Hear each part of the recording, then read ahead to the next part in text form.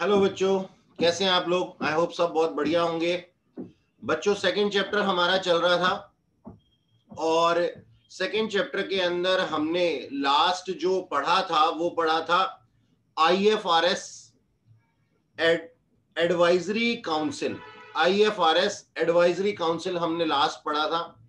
Chapter को आगे बढ़ाते हुए आज हम पढ़ने वाले हैं कि किस तरीके से I F R S development की जाती है, यानी कि आई एफ़ आर एस कैसे डेवलप किया जाते हैं, इसकी प्रोसेस को हमने पढ़ना है, ठीक है?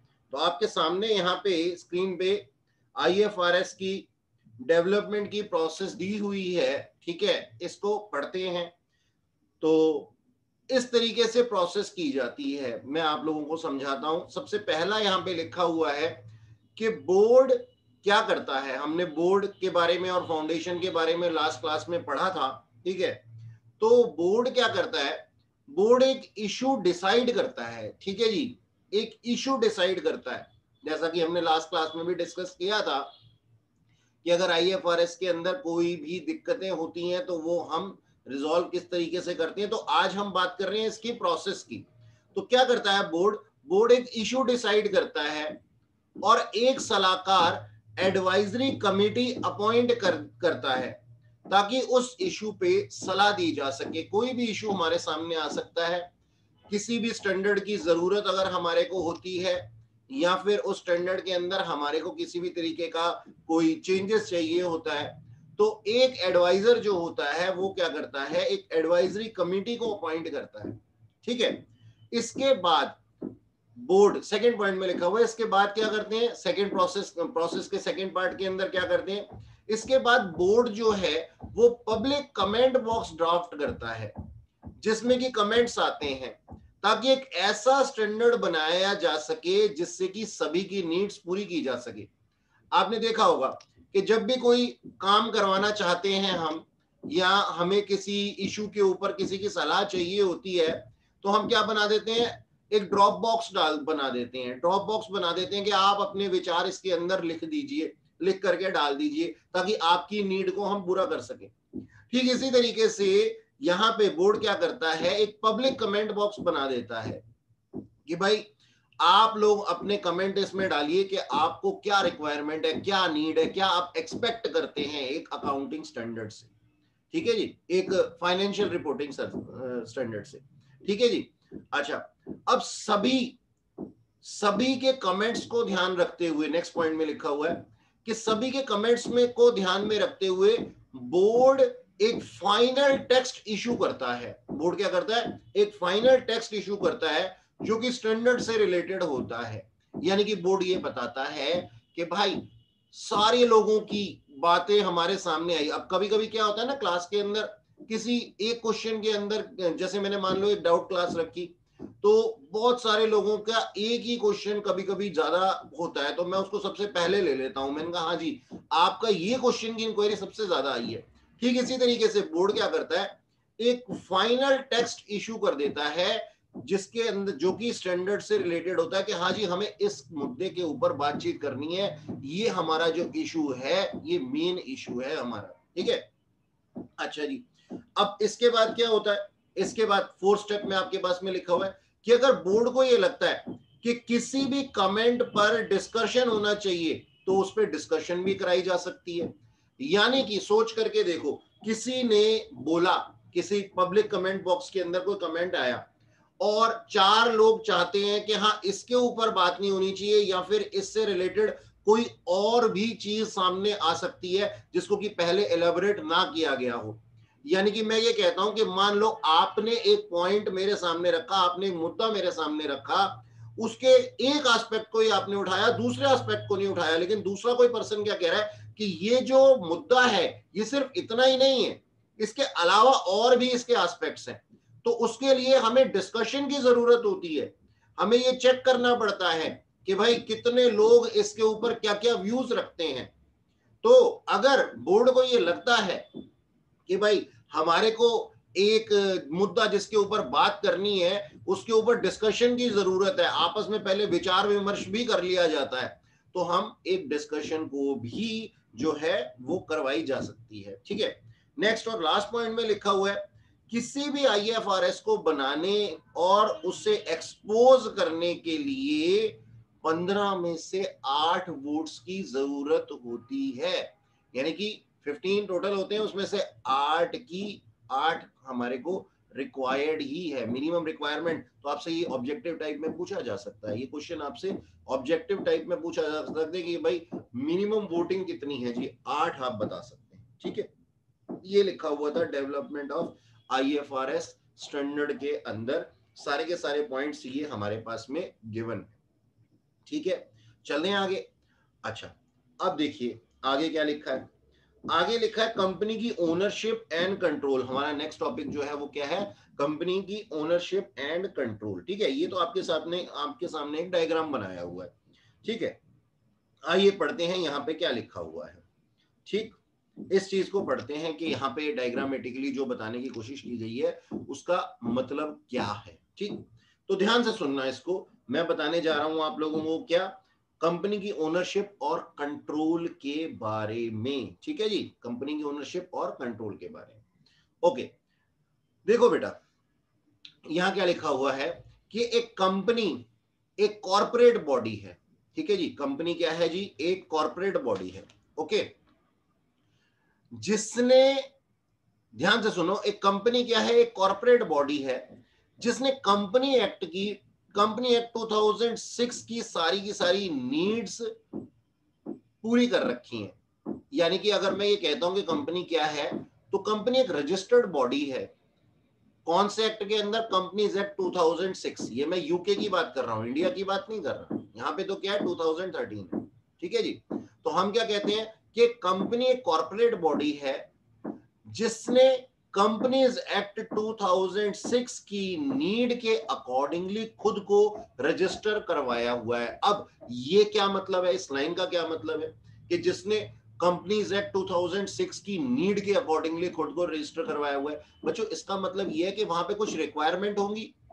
वहाँ पे कुछ रिक्वायरमेंट होंगी कि रजिस्ट्रेशन करवाने के लिए आपको ये ये काम पूरे करने ज़रूरी हैं। तो इसका मतलब है कि वहाँ सारी की सारी शर्तें पूरी कर ली गई हैं। वहाँ सारी की सारी शर्तें जो है, वो पूरी कर ली गई हैं। तभी इसका रजिस्ट्रेशन हुआ है। तो कंपनी आपको कोई पूछता तो क्या है? कंपनी एक कॉर्पोरेट बॉडी है, जिसने कंपनीज़ एक्ट 2006 की जितनी भी रिलेटेड उसके अंदर कंडीशंस हैं, वो पूरी कर रखी है और इस तरीके से उसने खुद को रजिस्टर कराया है इस एक्ट के अंदर।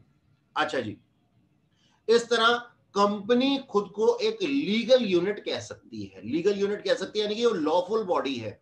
उसने सारी की सारी टर्म्स एंड कंडीशन जो कि एक्ट के अंदर लिखी है, वो पूरी की है तो इस तरीके से कंपनी खुद को एक लीगल यूनिट कह सकती है। अगर आपको वन मार्कर में पूछा जाता है कि क्या कंपनी एक लीगल यूनिट है ट्रू और फॉल्स तो आप क्या बोलेंगे जी? हाँ जी ट्रू है सर तो क्वेश्चन इसके अंदर से ही निकलते हैं, बेटा। ठीक है जी क्वेश्चन इसके अंदर से ही निकलते हैं। अच्छा अब आगे बात करते हैं। तो कंपनी का जो ओनरशिप कंपनी के शेयर होल्डर्स के पास में होता है, ये आप इलेवेंथ क्लास से पढ़ते हुए आ रहे हैं, ठीक है? आप लोगों को मालूम है बहुत अच्छे तरीके से कि कंपनी का ओनरशिप किसके पास में होता है? सर उसके शेयर होल्डर्स के पास होता है। तो सर डायरेक्टर्स के पास क्या होता है? वो डायरेक्शन देते हैं। ठीक है जी कंपनी का कैसे चलाया जाए मैनेज कैसे किया जाए। ठीक है? तो कंपनी का ओनरशिप जो होता है, वो शेयर होल्डर के पास होता है। कुछ छोटी और मीडियम कंपनी एक दूसरे के शेयर को खरीद के एक दूसरे की ओनर भी बन सकती हैं। सर, अब इसका क्या मतलब हुआ? इस पॉइंट का मतलब क्या हुआ? इस पॉइंट का मतलब ये है। मान लो, एक ए कंपनी है और एक बी कंपनी है। ए कंपनी का स्टील का बिज़नेस है और बी कंपनी का गारमेंट का बिज़नेस है। ठीक है जी? ए कंपनी का स्टील का बिज़नेस है और बी कंपनी का गारमेंट का बिज़नेस है। अब ए कंपनी ने मार्केट में अपने शेयर लॉन्च किए। बी कंपनी ने, अब कोई भी इसके शेयर खरीद सकता था जनरल पब्लिक में कोई भी खरीद सकता था। बी कंपनी आई और बी कंपनी ने इसके 51 परसेंट शेयर मान लो खरीद लिए 51 परसेंट शेयर खरीद लिए तो वो क्या बन गई? उसकी मालिक बन गई। 49 परसेंट ये कंपनी जो ए कंपनी है, उसके शेयर्स 51 परसेंट किसने खरीद लिए बी कंपनी ने खरीद लिए। तो होल्डिंग किसके हाथ में आ गई? होल्डिंग आ गई जी बी कंपनी के हाथ में। तो क्या करती है? कुछ भी छोटी छोटी कंपनियाँ होती हैं या कोई मीडियम कंपनीज़ होती हैं, वो क्या करती हैं? एक दूसरे का कंट्रोल हायर करने के लिए ना ऐसे कभी कभी करती हैं कि उसके ना शेयर्स मार्केट से ह्यूज लेवल पे खरीद लेती हैं और 51 परसेंट कम से कम खरीद लेती हैं। ठीक है जी? तो वो क्या करती हैं? एक दूसरे की ओनर बन जाती हैं और डायरेक्टर और मैनेजर डायरेक्शन और मैनेजमेंट को भी संभाल लेती हैं। ठीक है? ये भी हो सकता है कि किसी बड़ी कंपनी में काम करने वाले डायरेक्टर कंपनी के शेयर होल्डर बन के उसके मालिक ही बन जाए। ऐसा भी होता है कभी कभी अब क्या क्या मतलब है इस बात का? मान लो, मैं अपनी ही कंपनी, मैं एक कंपनी में जॉब करता हूँ। जॉब क्या करता हूँ? मैं उस कंपनी का डायरेक्टर हूँ। अब डायरेक्टर हूँ तो मैंने क्या किया? मैंने मार्केट में जब इसके शेयर्स आए ना तो पर्सनली जाकर के मैंने इसके शेयर्स परचेज कर लिए। और बहुत सारे शेयर्स परचेज कर लिए नंबर ऑफ़ शेयर्स परचेज कर लिए, जिससे कि मैनेजमेंट भी मेरे हाथ में आ जाए। डायरेक्शन तो मेरे पास में था, अब ओनरशिप भी मेरे पास में आ गई तो इस तरीके से ना क्या करते हैं तो हमने यहाँ पे दो चीज़ें देखी। एक कंपनी दूसरी कंपनी को कैसे होल्ड कर सकती है, और एक डायरेक्टर खुद अपनी कंपनी को कैसे होल्ड कर सकता है, उसका मालिक कैसे बन सकता है। ठीक है जी? अपने पास में शेयर्स को होल्ड करके। ठीक है जी? अब अब जो बोलने जा रहा हूँ, उस बात को ध्यान से सुनना। हालाँकि सबसे बड़ी कंपनी, सबसे बड़ी हंड्रेड यूके कंपनियों में, यानी कि जितनी भी यूके के अंदर टॉप मोस्ट हंड्रेड कंपनीज़ है, उनके डायरेक्टर ने जितनी कंपनियों को, खुद की कंपनियों को ही हायर कर रखा है ना, ये सिर्फ़ वन परसेंट ही है। ये सिर्फ़ वन परसेंट है। तो आपसे वन मार्कर में अगर कोई पूछ लेता है कि भाई, यूके के अंदर ऐसे कितनी कंपनियाँ हैं, ऐसी कितनी कंपनीज़ हैं जिसके कि अपने ही डायरेक्टर्स ने उसके शेयर्स परचेज करके खुद उसके मालिक बने हुए हैं। तो आप क्या कहेंगे जी? अप्रोक्स वन परसेंट है। ऐसी टॉप मोस्ट हंड्रेड कंपनीज़ में से वन परसेंट ठीक है जी? ओके जी। अब आमतौर पर बड़ी और लिस्टेड कंपनियों के शेयर होल्डर्स पेंशन फंड या ट्रस्ट या फिर इन्वेस्टमेंट बैंकर्स होते हैं। देखो, अब मैंने अभी आपको थोड़ी देर पहले ये बताया था कि हमारे पास में कुछ लोग जो होते हैं या कुछ कंपनीज़ जो होती हैं ना, दूसरी कंपनीज़ को होल्ड कर लेती हैं। कभी सोचा है कि ये कौन सी कंपनी होंगी जो कि दूसरी कंपनी को होल्ड करना चाहती होंगी? सोचने वाली बात है कि मैं अपना बिज़नेस चला रहा हूँ, आप अपना बिज़नेस चला रहे हो मुझे क्या ज़रूरत है आपके बिज़नेस के अंदर टांग अड़ाने की या फिर आपके मैनेजमेंट को संभाल लेने की? कभी सोचा है ऐसा कोई क्यों करेगा? तो सोचो और सोच करके मैं तुम्हारे को बताता हूँ कि ऐसा इस वजह से होता है कि मान लो कुछ पेंशन फंड कंपनीज़ हैं। पेंशन फंड कंपनीज़ क्या करती हैं? वो क्या करती हैं कि ना, अपने पास में लोगों से इन्वेस्टमेंट लेती हैं। या फिर कोई बैंकिंग कंपनीज़ होती हैं, वो बैंक्स क्या करते हैं जी? इन्वेस्टमेंट लेते हैं, ठीक है? और इन इन्वेस्टमेंट्स को कहाँ पे लगा देते हैं? शेयर्स को होल्ड करने में, किसी को, क्योंकि उनको रिटर्न चाहिए हुई होती है। उनको रिटर्न चाहिए होती है। सोच करके देखो, तुमने बैंक के अंदर पैसा लगा दिया। तुमने बैंक के अंदर पैसा लगा दिया। अब बैंक तुम्हारे को इन्वेस्टमेंट के, तुम्हारी इन्वेस्टमेंट के बदले में रिटर्न देता है। कभी सोचा है कि ये बैंक ये रिटर्न्स कहाँ लेकर, कहाँ से लेकर के आता है? क्या वो जो बैंक है, अपने ही आप, आपको कुछ रिटर्न दे देता है? क्या वो क्या अंडा देने वाली मुर्गी बन जाता है? नहीं, ऐसा नहीं होता। बैंक आपसे डिपॉजिट्स लेता है पेंशन फंड्स कंपनीज़ आपसे डिपॉजिट्स लेती हैं या कोई ट्रस्ट कंपनीज़ होती हैं, वो आपसे इन्वेस्टमेंट लेती हैं और आपको रिटर्न पता है कैसे दे देती हैं? क्योंकि वो आपके द्वारा लिए गए पैसे को फर्दर क्या कर देती हैं? आगे किसी कंपनी के शेयर्स परचेज करने में इन्वेस्ट कर देती हैं। अब सोच करके देखो, मान लो मैं एक बैंकिंग कंपनी हूँ, मैं एक बैंकिंग कंपनी हूँ, मैंने आपसे, आप बच्चों से कुछ फंड्स ले लिए। मैंने कहा जी, आप मेरे कस्टमर बन जाइए, आप मेरे यहाँ पे बैंक में खाता खुलवा लीजिए अकाउंट ओपन कर लीजिए। आपने अकाउंट ओपन कर लिया।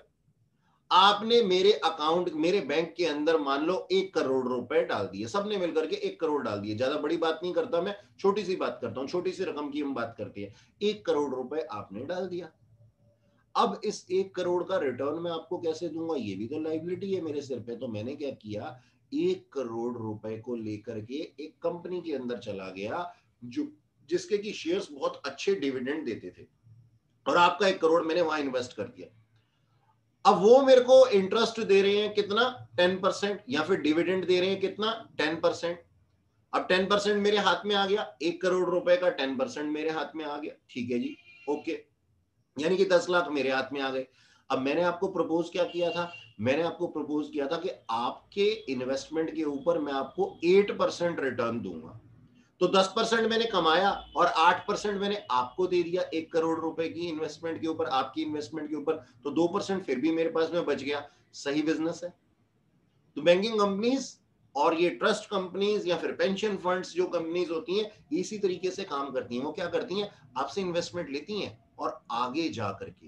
तो हम क्या पढ़ रहे हैं? कंट्रोलिंग के बारे में ही तो पढ़ रहे हैं। ठीक है? तो आगे जा करके वो क्या करती हैं, किसी दूसरी कंपनी का है तो कंट्रोल परचेज कर ले कंट्रोल ले लेती हैं या फिर वो उसके शेयर्स होल्ड कर लेती हैं इतना कि अपने कस्टमर्स को कुछ रिटर्न्स दे सके। ओके अच्छा। अब देखो जी, इस सबका कंपनी के डे टू डे बिज़नेस के अंदर कोई इन्वॉल्वमेंट नहीं होती। यानी कि ऐसी जो कंपनीज़ होती हैं, जो कि बैंकिंग कंपनी है या ट्रस्ट कंपनी है या फिर पेंशन फंड कंपनी है वो जाकर के किसी कंपनी का इन्वेस्टमेंट परचेज कर लेती हैं, यानी कि उसमें शेयर्स परचेज कर लेती हैं, उनको इस बात से कोई मतलब नहीं होता कि वो कंपनी क्या प्रोडक्शन कर रही है। उनको इस बात से कोई लेना देना नहीं होता कि वो कोई स्टील कंपनी है, वो कोई गवर्नमेंट गारमेंट कंपनी है, वो लॉजिस्टिक कंपनी है, वो क्या काम करती है, उसका उससे कोई मतलब नहीं है। उसको कोई लेना देना नहीं ठीक है जी? सिर्फ़ उसको क्या करना है, वहाँ से रिटर्न कमानी है और अपने इन्वेस्टर्स को वो रिटर्न देनी है, कुछ कम अमाउंट पे, ताकि उसको भी कुछ बच सके। ठीक है? अच्छा सोचो, अगर आपको, अगर, सोचो, अगर आपको कोई मीटिंग अरेंज करनी हो, ठीक है? यहाँ तो हमने कंट्रोलिंग की बात की। अब मैं कहता हूँ, सोचो कि अगर आपको कि कोई मीटिंग अरेंज करनी हो और अलग अलग मुद्दों पर आम सहमति बनानी हो तो आपके सभी शेयर होल्डर्स को इनवाइट करना पड़ेगा। और सभी की एक राय बन जाए, ऐसा तो कोई ज़रूरी है नहीं। यानी कि आप क्या करते हैं, आपने अलग अलग देशों से अलग अलग जगहों से अपने शेयर होल्डर्स को इकट्ठा किया एक मुद्दे के ऊपर। आपने मीटिंग अरेंज भी की और आपको लगता है कि वो सबके सब एक ही राय बना लेंगे अपनी किसी एक मुद्दे के ऊपर। ऐसा नहीं होता। ठीक है जी? तो इस सब की बजाय डायरेक्टर्स को बिज़नेस का मैनेजमेंट चलाने के लिए अपॉइंट किया जाता है। ये डायरेक्टर और कंट्रोल को अलग अलग करता है। ठीक है जी? कंट्रोल और डायरेक्शंस को अलग अलग करता है। ओनरशिप के राइट किसके पास में है? शेयर होल्डर्स के पास में लेकिन शेयर होल्डर्स आकर के खुद तो डिसीज़न ले नहीं सकते, क्योंकि वो बहुत सारे हैं, फैले हुए हैं, पूरी दुनिया में फैले हुए हैं। तो इस काम के लिए क्या किया जाता है? इस काम के लिए डायरेक्टर्स अपॉइंट किए जाते हैं कि आप हमें डायरेक्शन दीजिए कि बिज़नेस किस तरीके से करना है। सोच करके देखो, ध्यान से सोचना मेरी बात। मैंने एक कंपनी इशू की। मैं सॉरी मैंने कुछ शेयर्स इशू किए, मैंने कंपनी लॉन्च की। ठीक है? और मैंने उसके शेयर्स डिस्ट्रीब्यूट कर दिए। यहाँ, वहाँ, कहाँ कहाँ डिस्ट्रीब्यूट कर दिए। अब मैं ना सबको फ़ोन करता फिर रहा हूँ। मैंने कहा हाँ जी, आओ, यहाँ पे कंट्रोल चलाओ बताओ किस तरीके से काम किया जाए। बताओ जी, हमारे को जो है, वो कौन सा प्रोडक्ट बनाना चाहिए, कब बनाना चाहिए, कितना बनाना चाहिए, ताकि आप जो है, मैं, यानी कि कंपनी जो हूँ, वो आपको कुछ रिटर्न दे सके। ऐसा मैं सबको फ़ोन कर करके कह रहा हूँ। अब मैंने एक बंदे को फ़ोन किया, वो इंजीनियर एंड डॉक्टर था। वो कहता, जी, मेरी फ़ील्ड का तो क्या नाम है, सवाल नहीं है कॉमर्स से रिलेटेड मैं जानता ही नहीं हूँ। मैंने तो क्या किया है, सिर्फ़ पढ़ाई की है इंजीनियरिंग की या फिर डॉक्टरेट की पढ़ाई की है, और मैं तो इन्वेस्टमेंट्स के बारे में कुछ जानता ही नहीं हूँ। मैंने तो आपकी कंपनी के शेयर्स इसलिए परचेज कर लिए थे, क्योंकि आपकी कंपनी बहुत अच्छी रिटर्न देती है, और मुझे तो सिर्फ़ अपने पैसे को डबल करने में मतलब है, मुझे आपके काम से क्या लेना देना। अच्छा मैंने फिर दूसरा फ़ोन लगाया तो दूसरे फ़ोन पे क्या सुनने को आया कहते जी, हम तो पढ़े लिखे हैं ही नहीं, हम तो अंगूठा छाप आदमी हैं, हमें तो सिर्फ़ पैसा कमाने से मतलब है हमारे को पैसा मिल जाए, हमारी रिटर्न मिल जाए टाइमली हमें और कुछ नहीं चाहिए। आप कैसे भी कमा करके लेके आओ। मैं बड़ा सोचने लगा, मैंने कहा ये सही बात है। सारे लोग सिर्फ़ एक ही काम चाहते हैं कि भाई, पैसा कमाऊं पैसा कमाऊं, कोई भी आकर के यहाँ काम नहीं संभालना चाहता, कोई इन्वॉल्वमेंट लेना ही नहीं चाहता अपनी। फिर मैंने कॉल किया जी एक पर्सन को, जिसका की नाम था रतन टाटा। मैंने रतन टाटा जी को फ़ोन किया, मैंने कहा, रतन टाटा जी, देखो सर, मेरी जो कंपनी है, बहुत बड़ी कंपनी है और मैं सबको कंट्रोलिंग करने के लिए बुला रहा हूँ यहाँ पे कि आप बताओ क्या बनाए, कैसे बनाए, कब बेचें, कैसे बेचें? और कोई आने कोई तैयार नहीं है, रतन टाटा जी मुस्कुरा दिए हंस दिए कहते अरे भैया, ऐसे थोड़ी होता है। मैंने कहा, सर, अब मैं आपको फ़ोन कर रहा हूँ कि आप यहाँ आइए और आपके अंदर बिज़नेस एथिक्स बहुत अच्छे हैं। आप यहाँ पे आकर के मेरी कंपनी के अंदर मुझे ऑनर कीजिए कि मैं अपने को सम्मानित फील करूँगा अगर आप मेरे यहाँ पे आकर के डायरेक्टर की पोस्ट संभाल लेंगे। और मैंने इसी तरीके से आदित्य बिरला जी को भी फ़ोन किया, और भी दस जगह लोगों को मैंने फ़ोन किया जो मेरे कंपनी के डायरेक्टर बनने के लिए तैयार हो गए। तो वो लोग अपने अपने किसी भी अनुभव की वजह से जानते हैं कि कैसे डायरेक्शन की जाती है। फ़िल्म इंडस्ट्री में भी होता है ना, कोई ऐसे ही थोड़ी ना, एक तो होता फाइनेंस है, पैसा लगाने वाला। ठीक है जी? और डायरेक्टर कोई और होता है, अगर फाइनेंसर ही कैमरा लेकर के खड़ा हो जाए जी मैं बताऊँगा किस तरीके से फ़िल्म बनानी है, किसको हीरो हीरोइन लेना है तो भैया बना लो फिर फ़िल्म। उसके बाद में फिर चला लेना अपनी फ़िल्म को, कैसे चलेगी? तो उसके लिए प्रॉपर डायरेक्टर चाहिए होता है ना, ठीक, इसी तरीके से। कंपनी के अंदर भी कुछ पढ़े लिखे, कुछ ऐसे अनुभवी लोगों की ज़रूरत होती है, जो कि डायरेक्शन कर सके। तो ओनरशिप अलग है जी डायरेक्शन अलग है। बात समझ में आएगी अच्छा। अब क्या है आगे हमारे पास में कि अनफॉर्चुनेटली ओनर और डायरेक्टर के ऑब्जेक्टिव अलग अलग होते हैं और इस वजह से दोनों ग्रुप आपस में लड़ते रहते हैं। मतलब मैंने अभी आपको बताया डायरेक्टर क्या चाहता है कि मैं इस कंपनी को कैसे कंट्रोल में और आगे लेकर के जाऊँ और शेयर होल्डर्स क्या कहते हैं? कहते हैं हमारे को तो सिर्फ़ हमारी रिटर्न्स दे दो तो सबके ऑब्जेक्टिव अलग अलग हैं। तो इसलिए इसलिए क्या होता है कभी कभी इनके बीच में कॉन्फ्लिक्ट पैदा हो जाते हैं। अच्छा कभी कभी जो डायरेक्टर्स होते हैं ना, वो भी बड़े मीन हो जाते हैं, ठीक है? वो क्या कहते हैं? वो चाहते हैं, भाई, खुद की सैलरी खुद का बोनस खुद का इंक्रीमेंट खुद के परक्यूजिट्स कैसे इंक्रीज हुए, कैसे इंक्रीज हो? जैसे मिसाल के तौर पे मैं आपको एक एग्जांपल देता हूँ कि कोई भी एक ऐसा क्या नाम है रेजोल्यूशन पास करके डायरेक्टर्स ये कहते हैं कि अगले साल से जो है, हमारे क्या नाम है सैलरी को और बढ़ा दिया जाए या फिर कोई परक्यूजिट्स की वैल्यू को और बढ़ा दिया जाए।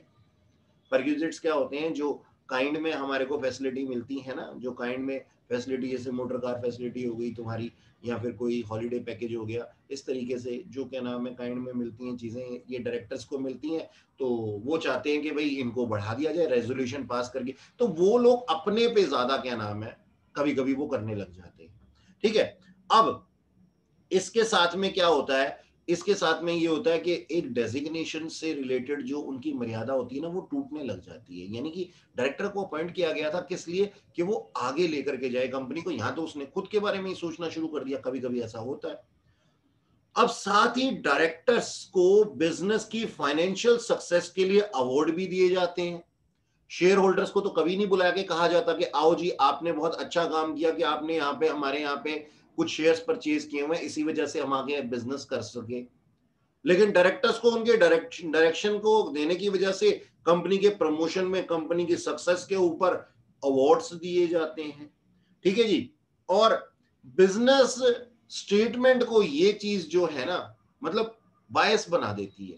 यानी कि ये पार्शियलिटी वाला काम है। कि आपने शेयर होल्डर्स को तो कोई क्या नाम है अवार्ड नहीं दिए बुला करके। और डायरेक्टर्स को क्या नाम है, आप अवार्ड्स दे रहे हैं। अच्छा फाइनेंशियल स्टेटमेंट कौन बनाते हैं? फाइनेंशियल स्टेटमेंट भी डायरेक्टर्स की डायरेक्टर के सामने ही बनती है डायरेक्टर के साथ ही बनती है। ठीक है जी? यानी कि डायरेक्टर के सानिध्य में ही बनती है। डायरेक्शन उसी की डायरेक्शन के हिसाब से चलती है। ठीक है जी? तो फाइनेंशियल स्टेटमेंट भी है ना कभी कभी है ना, थोड़ी बायस हो जाती है। बायस हो जाती है का मतलब ये है कि निग्लेक्ट कर दिया जाता है। शेयर होल्डर के इंटरेस्ट को। कभी कभी ऐसा होता है। और इस फाइनेंशियल स्टेटमेंट की क्रेडिबिलिटी और रिलायबिलिटी कभी कभी खतरे में पड़ जाती है। ऐसा भी होता है। ठीक है बेटा? तो यहाँ पे हमने जो ये पूरे सारा हमारा पास में जो ये लिखा हुआ था, इसके अंदर हमने क्या पढ़ा है? हमने सिर्फ़ यही पढ़ा है, हमने यही पढ़ा है कि हम किस तरीके से कंट्रोल जो है कंपनी को कंट्रोल किया जाता है किस तरीके से कंपनी को कंट्रोल किया जाता है? ठीक है जी, कौन लोग होते हैं जो डायरेक्टर की तरह से अपॉइंट किए जाते हैं? शेयर होल्डर्स के किस तरीके से काम होते हैं? और शेयर होल्डर और डायरेक्टर्स में आपस में क्या लड़ाई झगड़े होते रहते हैं? तो ये सारी चीज़ें हमने इस कंट्रोल के अंदर, इस इस टॉपिक के अंदर पढ़ी हैं, जो कि था कंपनीज़ ओनरशिप एंड कंट्रोल ठीक है जी? ओके अब नेक्स्ट है हमारे पास में the current financial reporting environment ठीक है? करंट फाइनेंशियल रिपोर्टिंग एनवायरमेंट देखो जी, यहाँ क्या लिखा हुआ है कि एनरॉन और वर्ल्ड कॉम दो एग्ज़ाम्पल हैं बहुत ही हाई प्रोफ़ाइल वाले डायरेक्टर्स के जो कि हेर फेर के दोषी पाए गए थे। ठीक है जी? अकाउंट्स और फाइनेंशियल स्टेटमेंट्स के अंदर। यानी कि फाइनेंशियल स्टेटमेंट के अंदर कुछ हेर फेर की गई थी, ठीक है जी? इन दो कंपनियों के अंदर एनरॉन और वर्ल्ड कॉम के अंदर, जहाँ पे कि डायरेक्टर्स ने बहुत ही मंझे हुए तरीके से फाइनेंशियल स्टेटमेंट में हेर फेर करके लोगों को धोखा देने की कोशिश की थी, ठीक है? ये मामले केवल शेयर होल्डर की प्रॉब्लम्स को ही नहीं बढ़ाते हैं। ठीक है जी, ये मामले केवल शेयर होल्डर्स की प्रॉब्लम्स को ही नहीं बढ़ाते हैं, बल्कि डायरेक्टर पे विश्वास की कमी को भी लेकर के आते हैं। यानी कि सोच करके देखो कि एक डायरेक्टर ने फाइनेंशियल स्टेटमेंट के अंदर कुछ गड़बड़ी की, मानते हैं, ठीक है, उन्होंने गड़बड़ी की। अब इसके क्या इफ़ेक्ट होंगे? शेयर होल्डर का इंटरेस्ट तो खराब होगा ही होगा। लेकिन नेक्स्ट टाइम जो इन्वेस्टर होगा नेक्स्ट टाइम का जो इन्वेस्टर होगा मान लो मैं कंपनी का डायरेक्टर हूँ और आप मेरी कंपनी के शेयर होल्डर हैं मैंने फाइनेंशियल uh, स्टेटमेंट के अंदर किसी तरीके की कोई गड़बड़ी कर दी। इससे आपका इंटरेस्ट तो खराब हो ही गया यानी कि आपकी रिटर्न तो खराब हो ही गई। अब नेक्स्ट टाइम आप किसी को ये कहोगे कि भाई इस कंपनी के अंदर जो है वो इन्वेस्टमेंट करना आप नहीं कहोगे। आप नहीं कहोगे है ना? तो यहाँ पे मैंने क्या बात बोली? दो चीज़ें बोली कि ऐसे काम, ऐसी हरकतें, ऐसे हेर फेर की वजह से नंबर वन शेयर होल्डर का इंटरेस्ट तो खराब होता ही है, यानी कि जो करंट शेयर होल्डर है, उस पर तो इफ़ेक्ट पड़ा ही पड़ा है। लेकिन आगे के लिए डायरेक्टर्स की क्रेडिबिलिटी के ऊपर भी सवालिया निशान आ जाता है। तो ये हेर फेर नहीं करनी चाहिए। ठीक है जी, इतनी बात मैंने आपको, लोगों को बोली। अब इसके आगे। इससे भी दुख की बात यह है कि जो पब्लिश्ड फाइनेंशियल स्टेटमेंट या फिर फाइनेंशियल रिपोर्ट्स होती हैं, उस पर शेयर होल्डर कभी विश्वास नहीं कर पाते। यानी कि हमने ये बोला कि हमने एक फाइनेंशियल स्टेटमेंट आपको दी और लास्ट टाइम कोई फाइनेंशियल स्टेटमेंट जो है, उसमें हेर फेर पाया गया था। तो अब जो नई फाइनेंशियल स्टेटमेंट दी गई है, क्या आप उसके ऊपर विश्वास कर पाएँगे? क्या उसके बिज़नेस के साथ में आगे बढ़ पाएँगे? मान लो आप एक शेयर होल्डर है और आपसे धीरे धीरे धीरे धीरे शेयर्स के पैसे लिए जा रहे थे एप्लीकेशन पे दो रुपए अलॉटमेंट पे तीन रुपए, इस तरीके से। तो आप ना अभी पूरा पे नहीं किए हैं, आपको अपनी कंपनी के फाइनेंशियल स्टेटमेंट्स मिली मेल पे आई आपके, और आपने उसके अंदर हेर फेर पाया। नेक्स्ट टाइम आपका, जब भी आपके पास में कोई फाइनेंशियल स्टेटमेंट आती है तो क्या आप उस मेल को खोल करके भी देखना चाहेंगे? तुम यही सोचोगे ना हमेशा कि यार, ये तो अब की बार भी ऐसे ही कोई ना कोई हेर फेर ही किया हुआ होगा, मुझे तो इस कंपनी से बाहर निकलना है। तो ये ये सारी चीज़ें जो है ना, ये डायरेक्टर्स की जो हमारे पास में एक लिमिटेशंस है ना डायरेक्शंस की, उस चीज़ को लेकर के आती है। ठीक है? अच्छा दुनिया भर के अलग अलग रेगुलेटर्स को फाइनेंशियल रिपोर्टिंग और ऑडिटिंग के बीच तालमेल बिठाने के लिए के लिए हम लोग जो है वो अपॉइंट करते हैं। और इन लोगों को, इन लोगों को सिर्फ़ और सिर्फ़ फाइनेंशियल रिपोर्टिंग और ऑडिटिंग के बीच में तालमेल बिठाया जा सके, इस काम के लिए भरसक मेहनत करनी पड़ती है, बहुत लंबा सफ़र तय करना पड़ता है। इसका मतलब क्या है? इस बात का मतलब ये है कि हमारी फाइनेंशियल रिपोर्टिंग है। हमने फाइनेंशियली कोई रिपोर्ट किया, हमने अपने शेयर होल्डर्स को या अपने इन्वेस्टर्स को बताया कि ये हमारी इस साल की स्टेटमेंट थी। अब ऑडिटर ने उसके अंदर दस चीज़ें पकड़ ली कि भाई ये आपने जो फाइनेंशियल स्टेटमेंट बना रखी है, ये खराब बना रखी है चार्टर्ड अकाउंटेंट ने पकड़ ली। तो दुनिया भर के जितने भी जितने भी रेगुलेटर्स होते हैं रेगुलेटर्स कौन है जी? जो रूल्स रेगुलेशंस बनाते हैं, उनको इंप्लीमेंट करने के लिए काम करते हैं। तो वो बेचारे यही सोचते रहते हैं कि ऐसा कौन सा स्टैंडर्ड हम बनाएँ कि भाई फाइनेंशियल रिपोर्टिंग की क्रेडिबिलिटी बिल्कुल सही तरीके से कामयाबी के तरीके से बनाई जा सके, यानी कि फाइनेंशियल रिपोर्टिंग बिल्कुल सही हो और ऑडिटर उसके ऊपर अपनी सही रिपोर्ट दे सके। यानी कि दोनों चीज़ें फाइनेंशियल रिपोर्टिंग और उसकी चेकिंग चेकिंग किसके द्वारा है जी? चार्टर्ड अकाउंटेंट यानी कि ऑडिटर के द्वारा। ऑडिटर चेक करेगा फाइनेंशियल रिपोर्ट डायरेक्टर्स बनवाएँगे। तो दोनों के बीच में जो तालमेल बनाना पड़ता है ना, यानी कि दोनों ही चीज़ें सही रहें रेगुलेटर्स इसके लिए पूरे टाइम अपना प्रयास करते रहते हैं। ठीक है? तो ये हमारे पास में दिया हुआ था करंट फाइनेंशियल रिपोर्टिंग एनवायरमेंट के अंदर कि आज के तौर पे फाइनेंशियल रिपोर्टिंग का एनवायरमेंट कैसा है? ऑडिटर्स और जो फाइनेंशियल स्टेटमेंट है, उसके बीच में हम लोगों को जो है, वो बहुत ज़्यादा दिक्कतों का सहारा, दिक्कतों का सामना करना पड़ता है। ठीक? नेक्स्ट है हमारे पास में कॉरपोरेट गवर्नेंस कॉरपोरेट गवर्नेंस क्या होता है? ठीक है? इस चीज़ को समझिए। भाई हमारे पास में कैडबरी रिपोर्ट 1992 एक इंपॉर्टेंट डेफिनेशन देता है। किसके बारे में? ये कॉरपोरेट गवर्नेंस के बारे में। कॉरपोरेट गवर्नेंस के बारे में। ठीक है जी? तो कैडबरी रिपोर्ट 1992 एक इंपॉर्टेंट डेफिनेशन देता है और वो क्या कहता है कि कॉरपोरेट गवर्नेंस वो सिस्टम है जिससे कंपनीज़ को डायरेक्ट और कंट्रोल किया जा सकता है। यानी कि कंपनी को डायरेक्शन दी जा सकती है और कंट्रोल किया जा सकता है। ठीक है जी? तो हम क्या कहते हैं? अगर कोई हमसे पूछता है तो हम क्या कहते हैं? कॉर्पोरेट गवर्नेंस क्या है? तो कॉर्पोरेट गवर्नेंस कैडबरी रिपोर्ट 1992 में इस डेफिनेशन को बोला हुआ है। The system by which companies are directed and controlled is known as corporate governance ठीक है? कंपनी अपनी लिमिटेशन से दूर शेयर होल्डर्स के इंटरेस्ट या इंटरेस्ट होल्डर्स की वजह से इकोनॉमी के लिए बहुत बड़े पैमाने पर जिम्मेदार होती है। एक मिनट, ठहरिएगा। हाँ जी। हाँ मेरी बात सुनो। कंपनी अपनी लिमिटेशंस यानी कि उसकी जितनी भी लिमिटेशंस हैं, उसकी फाइनेंशियल रिपोर्टिंग सिस्टम या फिर ऑडिट का, या फिर किसी और तरीके का कोई भी काम है, ठीक है?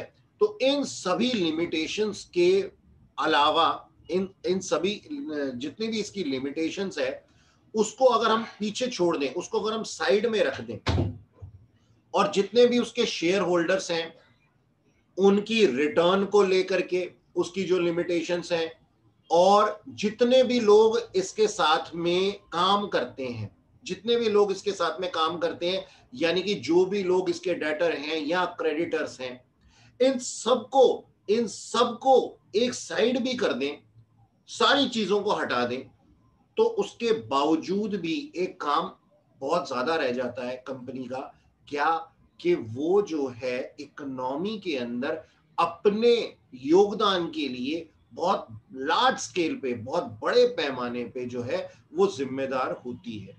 ठीक है? इसका मतलब ये है कि अगर मैं कंपनीज़ के शेयर होल्डर कंपनीज़ के डेटर्स क्रेडिटर सबको साइड भी कर दूँ, उनके सारे के सारे मुद्दे निपट भी जाएँ तो एक मुद्दा और हमारे सामने आ जाता है, और वो क्या है? वो ये है कि भाई कंपनी समाज के प्रति क्या रिस्पॉन्सिबिलिटी रखती है? यानी कि उसको इकोनॉमी के अंदर उसको क्या उसके, क्या नाम है, काम करने हैं और किस तरीके से वो काम करेगी?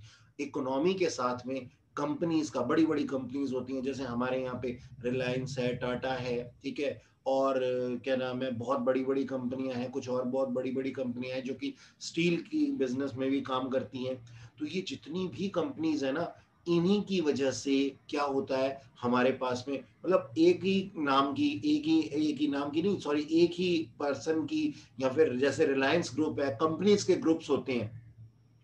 तो इन कंपनीज़ के ग्रुप्स का जो क्या नाम है, हमारी इन्वॉल्वमेंट होती है इकोनॉमी के अंदर कि वो क्या बनाते हैं कस्टमर उसको कैसे खरीदता है अच्छा कितने लोगों को वो रोज़गार देते हैं जिसकी वजह से एम्प्लॉयमेंट और अनएम्प्लॉयमेंट के बीच में हम डिफ्रेंशिएट कर सकते हैं। तो ना एक कंपनी के अगर पर्सनल मैटर को साइड भी कर देना तो उसका, उसके इकोनॉमी के लिए बहुत ही इंपॉर्टेंट रोल होता है। ठीक है जी? अच्छा अच्छा जी, आगे सुनो। क्योंकि ये कंपनीज़ जो होती हैं ना अब ऐसा है ये इंपॉर्टेंट रोल तो है लेकिन ये इंपॉर्टेंट रोल क्यों है? क्योंकि कंपनी क्या करती है जो भी गुड्स या सर्विसेज़ प्रोवाइड करती है उसका सीधा का सीधा संबंध किससे होता है? जी हमारी इकोनॉमी हमारे समाज से होता है। जैसा कि मैंने आप लोगों को क्या बताया कंपनी जो है आ, हमारे पास में आ, वो देती है एम्प्लॉयमेंट देती है।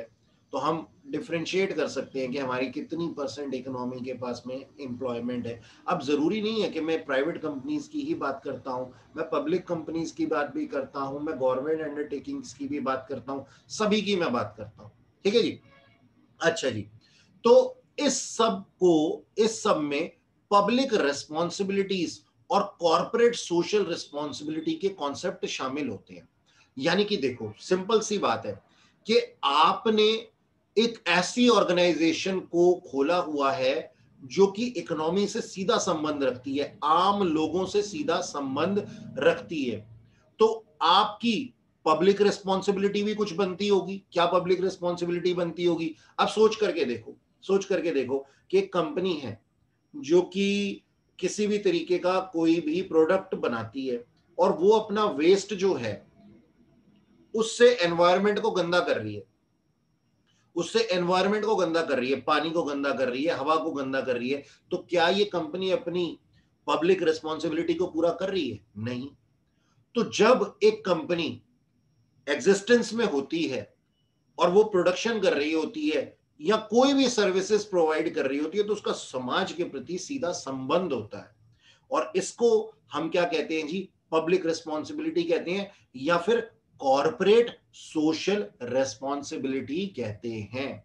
सी एस आर जिसका कि हम शॉर्ट फॉर्म में बोलते हैं, कॉरपोरेट सोशल रिस्पॉन्सिबिलिटी के कॉन्सेप्ट जो है, वो इसी के अंदर आते हैं।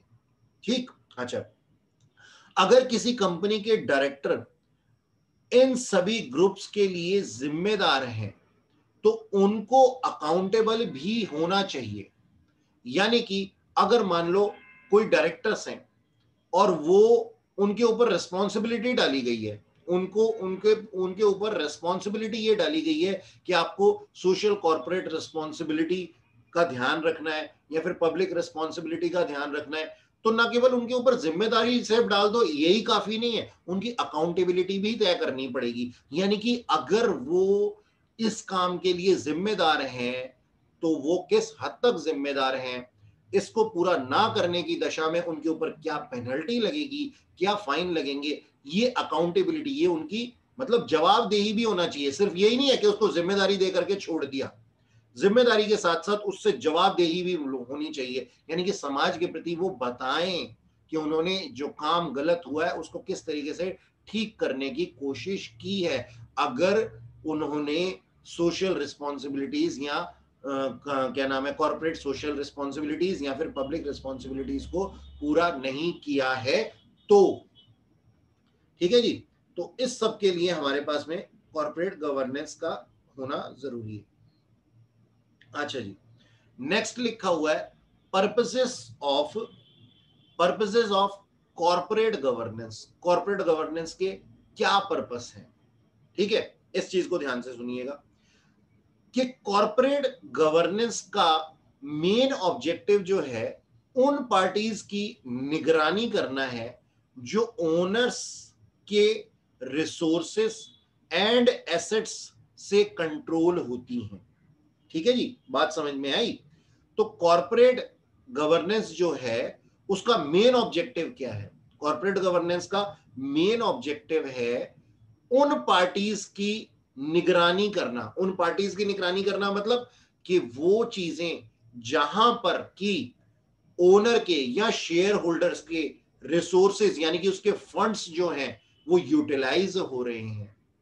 ठीक है? यानी कि आप शेयर होल्डर हैं, आपने कंपनी के अंदर पैसा लगाया। उस पैसे से कंपनी ने कोई एसेट परचेज किए। अब इस एसेट का सही यूटिलाइजेशन हो रहा है या नहीं हो रहा? या फिर ये एसेट किसी पर्सनल यूज़ के लिए तो यूज़ नहीं हो रहा।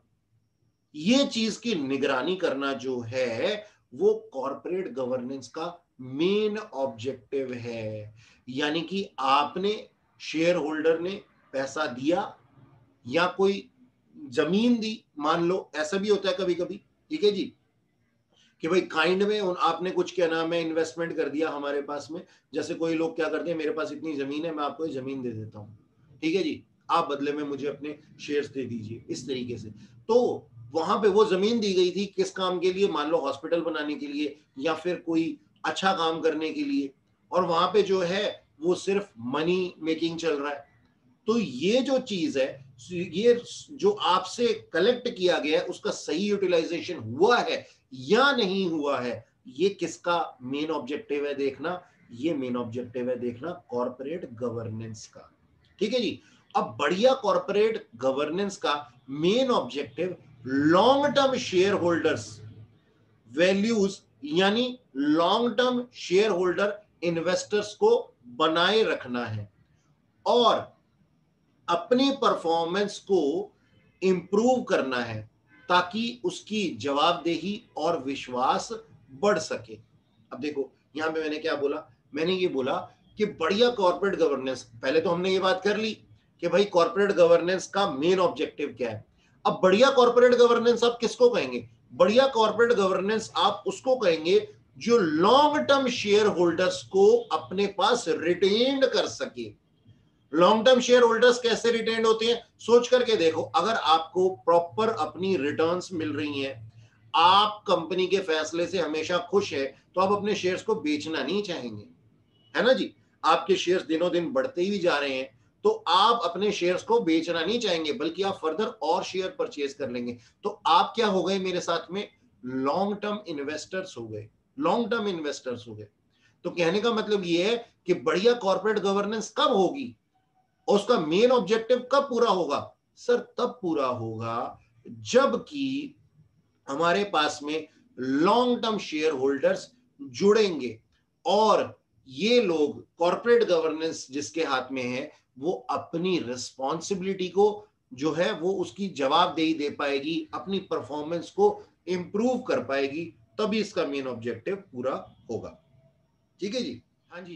तो नेक्स्ट है हमारे पास में नीड फॉर कॉर्पोरेट गवर्नेंस और इसके अंदर हमें पढ़ने जी एलिमेंट्स क्या एलिमेंट्स हैं हमारे पास में कॉर्पोरेट गवर्नेंस के? यानी ये कॉर्पोरेट गवर्नेंस किन पहलुओं के ऊपर काम करती है? ठीक है? और क्यों इसकी ज़रूरत है? इसके अंदर सबसे पहला पॉइंट है जी इफ़ेक्टिव मैनेजमेंट कॉर्पोरेट गवर्नेंस का क्या क्या ज़रूरत है? या फिर उसका सबसे पहला उद्देश्य क्या है? क्या ऑब्जेक्टिव है उसका? कि उसकी इफ़ेक्टिव मैनेजमेंट मैनेजमेंट को इफ़ेक्टिव बनाया जाए। मतलब जितने भी मैनेजमेंट के अंदर कोई भी कमियाँ या कमजोरियाँ हैं, उनको दूर करके एक बढ़िया सी मैनेजमेंट को बनाया जाए। नेक्स्ट है effective effective system of internal control इसका क्या मतलब है? इसका मतलब ये है इंटरनली कंट्रोल करना किसी भी काम को। जैसे मान लो, एक सुपरवाइजर ने अपने सबॉर्डिनेट को कोई काम दिया करने के लिए और सबॉर्डिनेट ने उस काम को किसी दूसरे के ऊपर रिस्पॉन्सिबिलिटी डाल दी तो ऐसा नहीं होना चाहिए। जितने भी हमारी मैनेजमेंट है मैनेजमेंट के अंदर उसके एम्प्लॉय हैं, उसके मैनेजर्स हैं या फिर आगे काम करने वाले लोग हैं उनका एक ऐसा इफ़ेक्टिव सिस्टम होना चाहिए जिससे कि आउटपुट निकल करके आ सके। तो इस चीज़ का कौन ध्यान करती है? इस चीज़ का ध्यान करती है जी कॉरपोरेट गवर्नेंस ठीक? अच्छा। जो हमारे डायरेक्टर्स होते हैं थर्ड पॉइंट के अंदर लिखा हुआ डायरेक्टर्स के जितने भी काम है, उनका प्रॉपर वैल्यूएशन करना भी कॉर्पोरेट गवर्नेंस का एक मेन ऑब्जेक्टिव है या फिर एक एलिमेंट है। ठीक है जी? यानी कि डायरेक्टर्स ने क्या काम किया? किस तरीके का उनका आउटपुट था इस चीज़ को इवेल्युएट करना। यही नहीं सिर्फ़ कि भाई सिर्फ़ उनको अवार्ड्स बांटते रहो उनको प्रेज करते रहो। हाँ अगर उनके कामों के अंदर कोई दिक्कत है तो उस चीज़ को भी इवेल्युएट किया जाना चाहिए। उसके लिए उनको ग्रेड्स देने चाहिए या फिर किसी तरीके के कोई अवार्ड देने चाहिए या फिर बताया जाना चाहिए डिवोट करना जा, किया जाना चाहिए डिमोशन उनकी होनी चाहिए या कोई भी ऐसी चीज़ जिससे कि इवेल्युएशन हो सके। जैसे हम कहते हैं ना कि किसी भी कंपनी में star company star employ of company star employ of company इस तरीके से हम लोग दूसरों से अलग करते हैं किसी भी अच्छा काम करने वाले को। इसी तरीके से डायरेक्टर्स के कामों को भी इवेल्युएट किया जाना चाहिए। डायरेक्टर्स को ऐसा नहीं लगना चाहिए कि हम ही ओनर बन बैठे हैं, हमारे सिर पे कोई है ही नहीं। ठीक है जी? हम सबसे बड़े हैं। ऐसा नहीं लगना चाहिए उनको। नेक्स्ट है डायरेक्टर्स को एक्यूरेट सैलरी और परक्यूजिट्स देना। यानी कि ऐसा नहीं है कि कॉर्पोरेट गवर्नेंस सिर्फ़ डायरेक्टर्स की गर्दन पकड़ करके बैठना, बैठा रहता है। कॉर्पोरेट गवर्नेंस ये भी देखता है कि एक्यूरेट सैलरी मिले इनको एक्यूरेट परक्यूजिट्स मिले। एक्यूरेट का मतलब क्या है यहाँ पे? कि ना कम मिले, ना ज़्यादा मिले। यानी कि ज़्यादा मिल रही है तो उस चीज़ को भी देखा जाना चाहिए। और अगर कम मिल रही है तो किन वजहों से उनको कम मिल रही है, इस चीज़ को भी देखा जाना चाहिए। तो इफ़ेक्टिव कॉर्पोरेट गवर्नेंस क्या करेगी? वो ये करेगी चेक करेगी कि उनको एक्यूरेटली सारी चीज़ें प्रोवाइड की जा रही हैं या नहीं की जा रही हैं।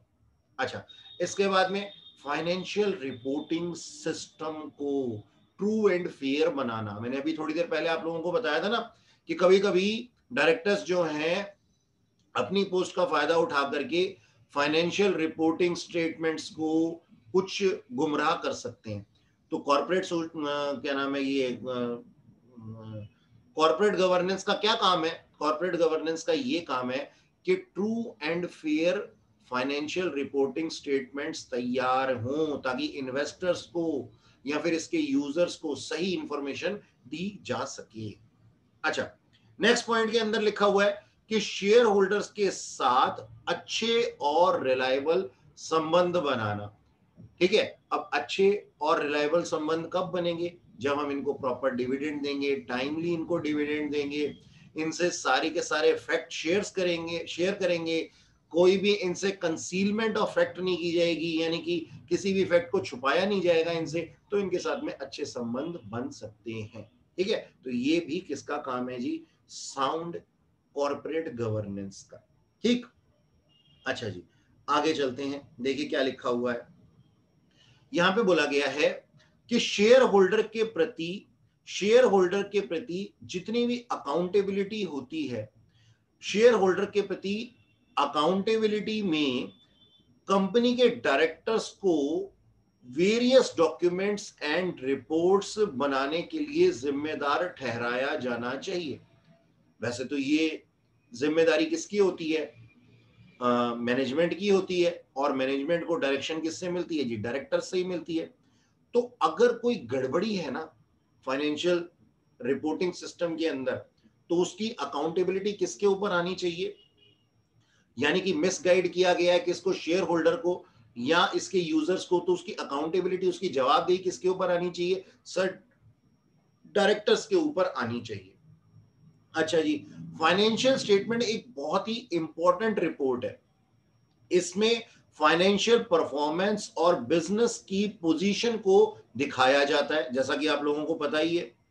ये जानकारी विशेष तौर पर शेयर होल्डर्स के लिए ज़रूरी होती है और फाइनेंशियल स्टेटमेंट को ऐसा होना चाहिए कि इन्वेस्टर्स कंपनी की पोजीशन का एक्चुअल रूप पहचान सके। यानी कि जितनी भी फाइनेंशियल स्टेटमेंट्स हैं, उसको इस तरीके का बना होना चाहिए, इतना सटीक और वैलिड होना चाहिए कि उससे एक इन्वेस्टर उसका एक यूज़र उसकी एक्चुअल पोजीशन को जान सके कि हाँ जी, इनके पास में इतने एसेट्स हैं, इतनी लाइबिलिटीज हैं तो इनकी मार्केट वैल्यू क्या है? क्या मुझे इस कंपनी के अंदर इन्वेस्ट करना चाहिए या नहीं करना चाहिए? ठीक है जी? अब ये जो अकाउंटिंग ये जो अकाउंटिंग रिपोर्टिंग सिस्टम है, ये किस दौरान बना होता है? सर, एक अकाउंटिंग पीरियड के दौरान बना हुआ होता है। और ये जो है, हमारे बिज़नेस की सक्सेस को भी दर्शाता है। यानी कि बताता है कि हमारा बिज़नेस कितना सक्सेसफुल है। ठीक है जी?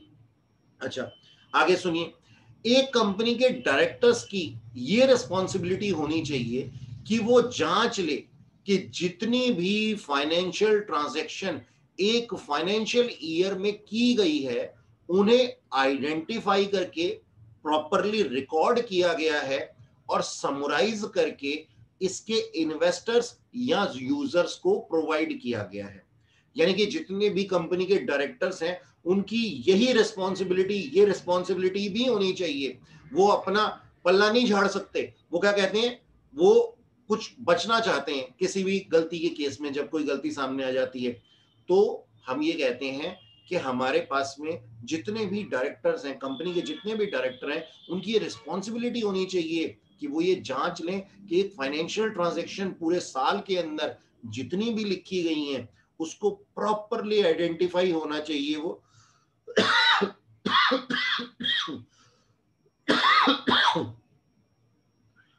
सॉरी हाँ जी तो मैं कहा था फाइनेंशियल ट्रांजेक्शन प्रॉपरली आइडेंटिफाई हुई है, यानी कि सबको रिकॉर्ड किया गया, सबको आइडेंटिफाई किया गया।